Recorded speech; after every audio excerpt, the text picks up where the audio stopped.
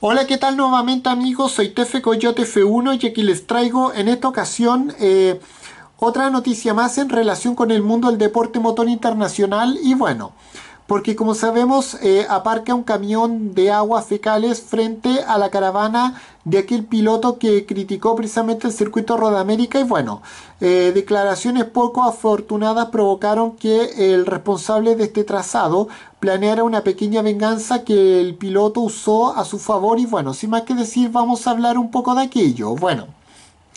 Existen historias que si se ven plamadas en un guion, se diría que son demasiado exageradas y que difícilmente se darían dentro de la realidad, pero la IndyCar se presta a estas historias inverosímiles. Y bueno, eh, como sabemos, los hechos tuvieron lugar en el maravilloso trazado Elkhart Lake, eh, más conocido como Rodamérica, donde la IndyCar disputó su octava competencia de la temporada. Y bueno, uno de los nombres del fin de semana estaba siendo el actual monarca de la categoría norteamericana de monoplazas, o sea, Will Power, aunque no positivamente, bueno, el piloto australiano tuvo problemas durante los entrenamientos libres con diversos eh, pilotos, como por ejemplo el ex Fórmula 1 Romain Grosjean, del que aseguró que merecía un puñetazo en la cara o más extraño con, eh, o más extraño con, eh, con Scott Dixon, donde un malentendido del piloto oficial de Chip Ganassi provocó un accidente entre ambos en el que tuvieron que sujetar a Power que amenazaba con emprender la, golpes y bueno, la cosa no mejoró la clasificación donde Will Power no tuvo una positiva actuación y no se le ocurrió otra cosa que criticar al circuito de manera vehemente diciendo que el circuito es una mierda si bien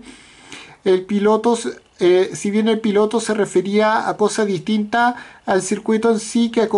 que acostumbra ser uno de los favoritos de, todos los pilotos, y bueno.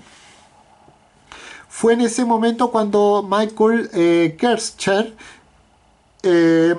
presidente precisamente de este trazado, eh, decidió tomarse una pequeña venganza y, y, tomó uno de los camiones de agua fecales que van vaciando los urinarios portátiles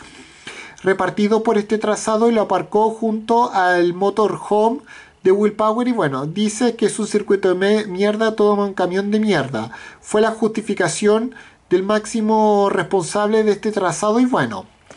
¿Termina aquí la historia? Bueno, obviamente no porque el camión eh, tenía las llaves puestas, eh, por lo que Will Power no dudó en ponerse a los mandos del, vehículo, del vehículo de carga y trasladarlo hasta el motorhome de Scott Dixon, eh, que el piloto que había tenido el enfrentamiento matinal y bueno, simplemente indicar y bueno, y con esto me despido, adiós, como fuera, chao.